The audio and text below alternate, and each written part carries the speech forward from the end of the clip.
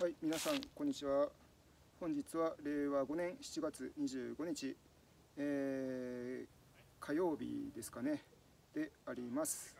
えー、ただいま私がおりますのは、長野県上田市の菅平高原でございます。えー、本日、えこちら合宿の聖地菅平に4年ぶりにやってまいりました。えーまあ、今回は、まあ、しっかりとした合宿というよりも、まあ、昨日、まあ、上田駅まで、えー、来まして、えーまあ、上田駅の周辺のホテルで1泊して、えー、本日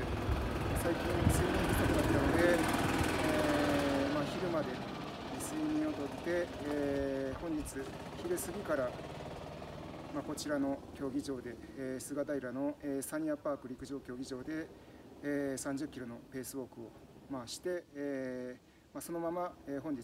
まあ、タクシーで、えー、上田駅の方に向かいまして、えー、ほぼ終電で、まあ、岐阜の、まあ、自宅まで帰るというスケジュールで、まあ、プチ合宿、まあ、弾丸合宿という形で、えーまあ、30キロのペースウォークを、まあ、涼しい環境で、まあ、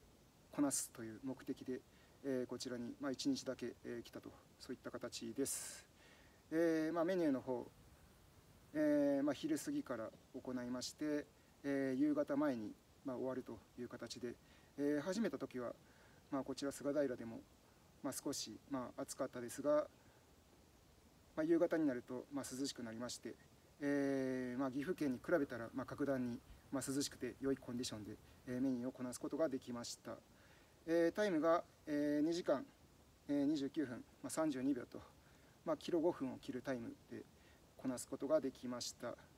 まあ、この時期ですので、えー、まあ、4月5月と同じタイムで30キロのペースウォークを、まあ、こなせれば、まあ、秋以降つながっていくかなと思っているので、えー、本日はまあいいメニューができたかなと思います、えー、こちら菅平、えー、4年前に、えーまあ、11回ほど、まあ、合宿、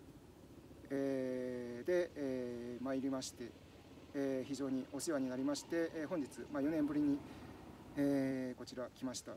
えーまあ、サニアパークの受付の方も私のことを、まあ、覚えていていただいてまして非常に嬉しかったです、えー、まあ今年は再び来る予定は特にございませんが、まあ、来年再来年とこちら涼しい環境で、えー、練習するためにまた、えー、お世話になるかもしれないですが、えーまあ、末永くこちら合宿の聖地、